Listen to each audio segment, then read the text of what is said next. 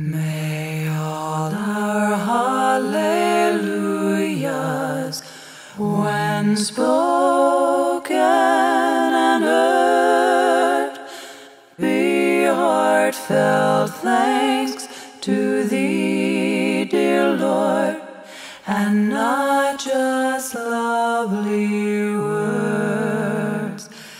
And may each passing moment till the ending of our days. Be filled to overflowing with our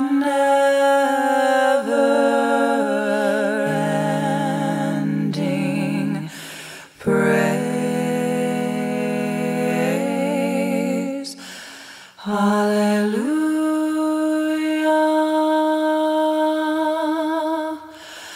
Hallelujah.